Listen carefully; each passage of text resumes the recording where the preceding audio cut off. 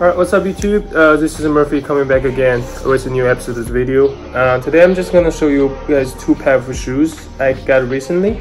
And uh, yeah, hope you guys enjoy it. Okay, so fit check for today. Uh, I'm wearing a Raf Simons sleeveless shirt I got from Totokaelo. And uh, the pants is the uh, Who is Jacob cargo pants with the Super League exclusive job. So yeah. Alright, so this won't be an unboxing video since I already opened both of them. And so the first pair of shoe or the pair of sandal is from Visvim so this is a Visvim uh, ICT collection. They just dropped like uh, almost like two weeks ago. So this is the ICT uh, Christo. And uh, initially so I've been looking for I was trying to buy a pair of Christo um, like um, two months ago when I saw they have like the black bandana one on their website. I just haven't pulled the trigger because like I saw some comments of uh, you know the inconsistency of the what the picture looks like versus the actual item. And uh, then I saw the IG post they're gonna releasing a new some some new Christo for their you know the ICT collection.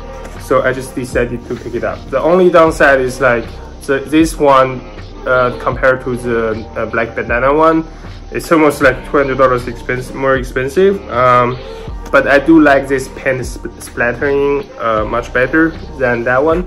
So yeah um, I, I, bought this one from Union Los Angeles when they dropped it online and uh, it took like almost a week to ship ship north here to Seattle so. Um, just to go over some details so one thing I found is really interesting is that this paint splattering or this like uh, pattern is actually it's actually extended to this you know to this like uh, buckle so you can see here it's actually uh, perfectly matched. So this line goes from the top. Uh, but actually after I adjust the sizing of the shoe uh, you can see the line is not getting line aligned perfectly. This actually bugs me a little bit but um, yeah I do need to adjust the size to have like a more room on the top.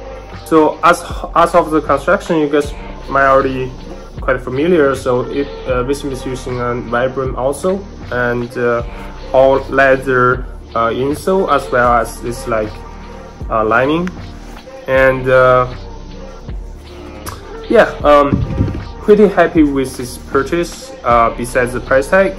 Um, this will be I mean the the main reason about this is just like um, since I will be work at home the whole year uh, so a home sandal or like at least this is something I can probably wear in daily or like uh, for a long run so yeah Alright, so next pickup, uh, I want to unboxing since I already take it out. It's actually from this brand called Collegium. You might, you guys may already noticing some, you know, content or people push been pushing this like on the, in on Instagram. So, so I picked this up. This is a pair of, uh, I think they called it Destroyer, um, and uh, I believe it's a draw inspiration from uh, you know, the classic, definitely classic uh, Jordan 1 colorway, as well as uh, Nike Terminator and maybe Air Force Ones. So uh, I was, uh, when I received this, I was quite surprised. Like this is, this is definitely beyond my expectation for $250 pair of a made in Italian shoe. So um, I will do some like comparison later, you know, with the Rhude one just because like how many people are talking about like this shoe is ripping Rhude's off of blah blah blah. I mean honestly everyone is ripping off Jordan 1s or like classic Nike silhouettes so I don't see why people is throwing shade on this brand. And uh, I was just uh, very happy with you know the quality uh, of the pair I got. You can see the grain of the you know of the material. Is definitely some premium uh, leather and uh, the toe box the, the shape of the toe box is actually I think it's kind of like a modified so I would say it's more uh, similar to a Terminator rather than an Air Force One because uh, the toe box is actually quite slim. Air Force One actually have like a much higher toe box. There's like one dash bag with uh, Collegium Then there's a three set of uh, waxed laces. But I do believe like right now the white one looks better. There's also other variations you can choose from. So, so here is probably like a lot of people like been waiting for, like, uh, you know, how how does this pair compare to Rhude or compare to other silhouettes? So first thing I would just do a color comparison with the, you know, the black toes, which is where the inspiration come from. Uh, yeah, I mean, the only thing I, do, I think is like the color is not really uh, that similar. Um, so they're using a more kind of like an off-white leather or like a more like a beige color rather than the uh, black toe. Uh, I think this give you a little bit like a vintage vibe as well as it's like yellowing also. So there's that. But the red color I would say is uh, it's pretty much uh, exactly the same. So yeah, and actually just from the front view, it actually looks uh, pretty good. I mean, comparing to the Jordan ones. So I think that like that comes from the the, the slim silhouette of this toe box. So and the reason I'm saying this is more similar to uh, Terminator rather than Air Force One, you can uh, do a side-by-side -side comparison. So this is the toe box is actually definitely more uh, similar or the silhouette is definitely more similar to Terminator. As well as, you know, as well as this like uh, heel design. So you can see the block, uh, pretty much the same. So, so the last comparison is probably a little bit uh, clicked in in this video. So this is uh, my Rhude uh, Retreat High, the Skyline colorway I got like last month and this is a um, Collegium destroyer. They are using exactly same also for amalgam. A Rhude one essentially like have like some customized branding like Rhude here. But besides that, this is like a complete same also they're using.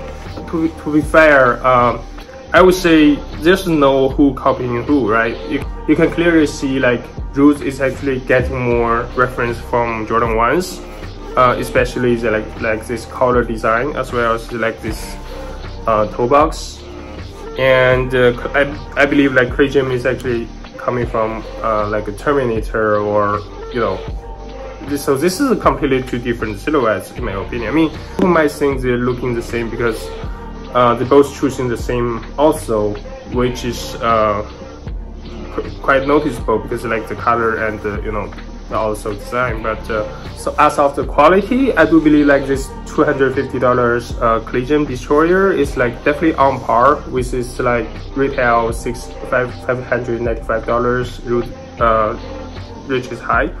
Um so one thing just to point it out is like some some aspect of this pair i do believe is even superior than that pair is just the leather. So um the set panel here as well as like the whole top leather you see here it's just so soft and buttery. This actually reminds me a little bit like a shattered backboard jordan ones which is the you know the pinnacle when people talking about leather quality. Um, uh, the Rhude one I, I i didn't see any of the grain or like that texture maybe because like they, because they are distressing it so um yeah another uh, set of another point is actually uh, just comparing the construction. Um, Rhude Rhude pair have like much padding uh, on the heel uh, versus the versus the Collegium one. But one one takeaway or like one pinpoint I have is like uh, because of the how much padding they have and this arc, um, this part actually trying always digging into my heel, so I was not wearing it really comfortably. Uh, yeah so besides that uh, I wouldn't say like who wins who lost but if you just compare it to money and to what you get I will definitely choose this pair um, and uh, I mean I'm not saying like is not worth it because like it's just two different brand and uh, also at two different price points but um, this pair Collegium definitely gets every penny of what you pay for. I'm I'm actually shocked how they managed to get this price down to you know 250. Um, I can only imagine like you know there's a lot of like a profit margin for this pair for sure. Even though I saw their price is quite reasonable for like uh, 595. You know comparing to the last you know last thing of this Jordan 1 related sneaker, I would say is a Fear of God military boot. Um, that one is priced around a grand. I wouldn't associate to any of this, so like because like both of them is just like Jordan 1 or like classic Nike reference as like a top Italian uh, premium sneakers. So uh, there's no, I would not say there's like a who ripping off who. Like if if there is, you guys both rip off Nike. So so that's my takeaway. And lastly, for sizing, uh, so I'm a true US 10, 10 and a half. So for Jordan 1, I'm wearing a 10 and a half. This is a size 43. Um, I could use a little bit more room, but uh, this one actually fits me perfectly. I think because it's like the seam padding, so I didn't feel that I need to size up. So yeah, uh, that's all the information I have for this pair and uh, I've been rambling a lot on this video. I just hope I can give you guys some suggestions. And that's everything I got for this video and hope you guys enjoy the content and uh, see you guys on the next one. Peace out.